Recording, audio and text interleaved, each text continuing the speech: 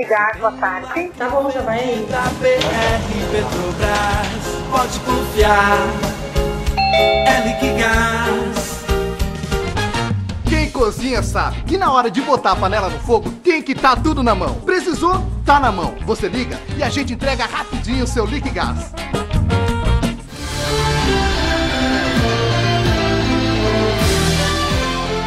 Na tarde dessa segunda-feira, 7 de setembro, os tapenses comemoraram a independência do Brasil, prestigiando o desfile cívico que teve a participação de escolas, entidades municipais e organizações.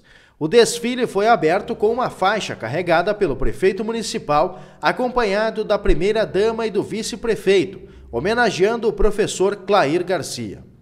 Clair Garcia foi escolhido homenageado municipal por ser um filósofo e pensador que amava Tapes e a Lagoa dos Patos, onde ensinou e viveu com sua sabedoria.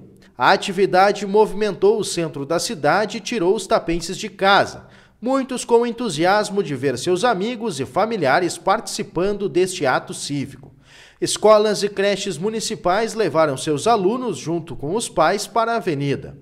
Como ocorreu em outras cidades, professores da rede pública estadual desfilaram com roupa preta, acompanhados de um homem vestido de chapolim colorado, como forma de protesto ao parcelamento do salário dos servidores públicos estaduais.